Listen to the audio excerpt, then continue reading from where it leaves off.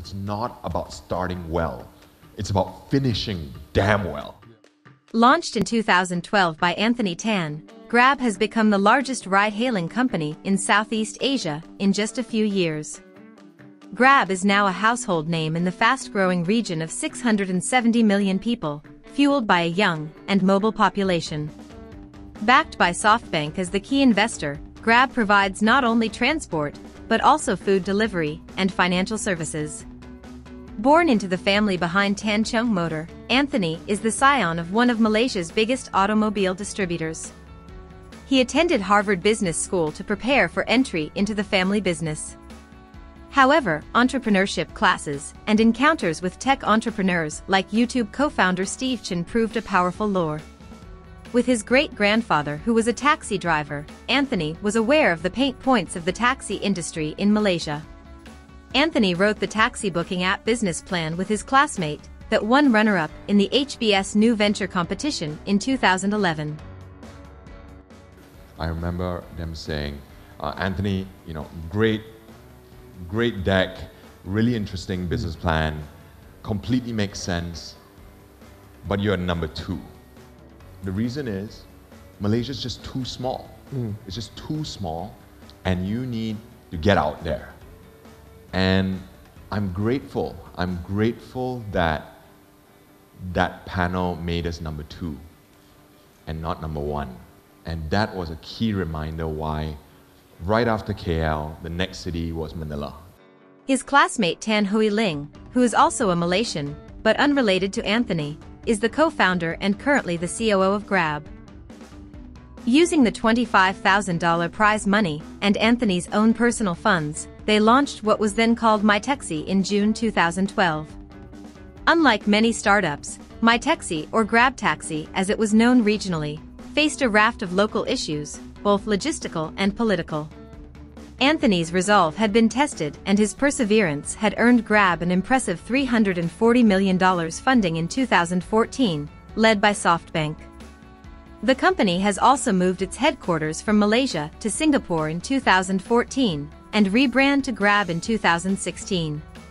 Uber has found Anthony a tough competitor during a five-year street battle with Grab. Southeast Asia has often been viewed as a big opportunity with 670 million people, but the market's diversity has tripped up some global tech companies. Unlike Uber which has upset local taxi markets, Grab is working with taxi drivers to help them do better business. Grab accepted cash when Uber only allowed card payments. Grab had also moved early to offer motorcycle taxi rides in traffic-clogged countries. You know, what do Southeast Asians love doing besides, you know, to your presentation, Instagram and, and Facebook? They love chatting, right? Yep. You look at, they just chat all the time. Um, they don't like talking, they like chatting. Um, and, and we said, okay, why don't we build Grab Chat? Um, you know, a lot of people in Southeast Asia love chatting, mm. and they want they're much more comfortable chatting with their driver than mm. calling the driver. Mm. So we built Grab Chat. Again, first, no, Yep. nobody else had it. Our Grab Chat has has translate. So if you type in Vietnam, if you type in Vietnamese, it translates to English, or English to Vietnamese, or English to Thai. So the driver and the passenger Good can point. understand each other. So again, these are really local stuff that Southeast Asians really care about, but others just don't. Uber exited the region in 2018 by selling its business to Grab, and in return took a 27.5% stake in the company.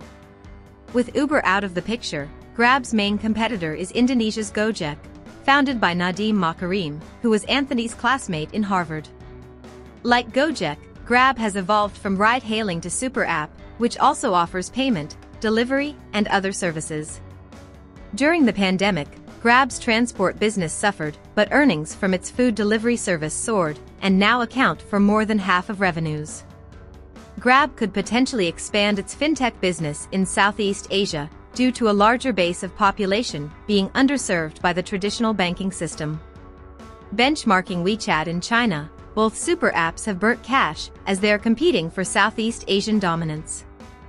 SoftBank's Masayoshi Son reportedly tried to broker a merger between Grab and Gojek, but discussions stalled over how much control Anthony would have. With rivals like Gojek and Sea Group bulking up, Grab plans to list on Nasdaq through a 39.6 billion US dollar merger deal with Altimeter Growth Corporation. The transaction will be the world's largest merger involving a SPAC, offering investors the access to one of the world's fastest growing economies. Anthony always had in mind a significant business offering services beyond ride hailing. It is his street fighter attributes that made it a reality.